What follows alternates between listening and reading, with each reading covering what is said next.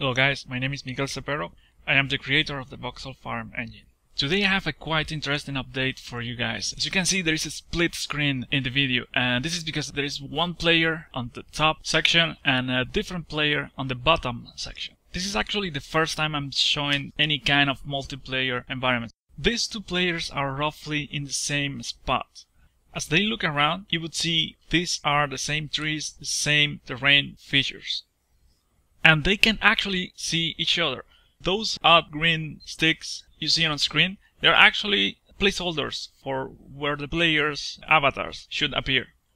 The green sticks are not uh, that nice. Probably I should have added googly eyes or something like that, but in this case you will have to use your imagination.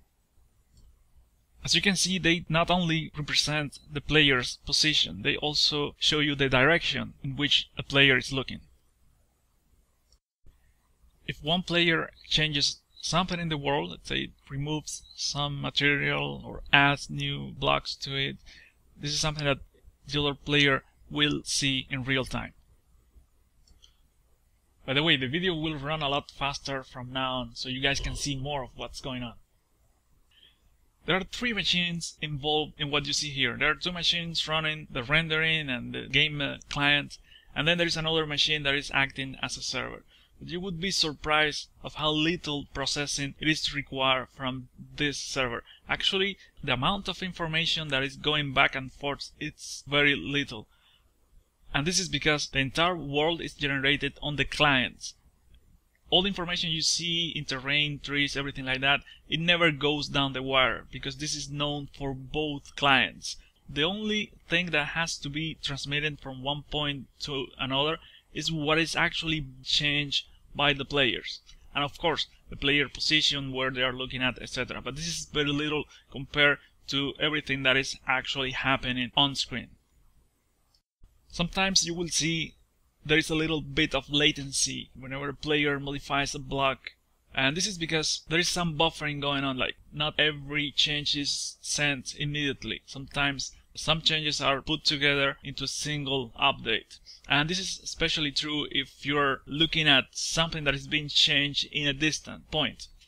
So a lot of players may be changing stuff. Let's say they are building a huge tower and you are a few kilometers away from this tower.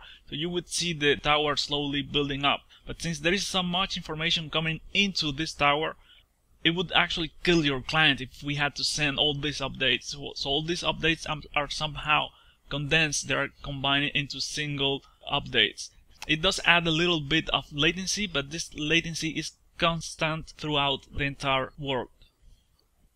Depending on which type of application you build with this, and what are the game mechanics, what rules uh, you have, how much you can trust the clients, you could have servers running in your home that are hosting hundreds of different players. But it really boils down to how much you can trust the clients, who are you inviting to play over, if you have some kind of a resource-based economy, if you're tracking the virtual money, something like that, then yeah, there are other things you, you need to consider.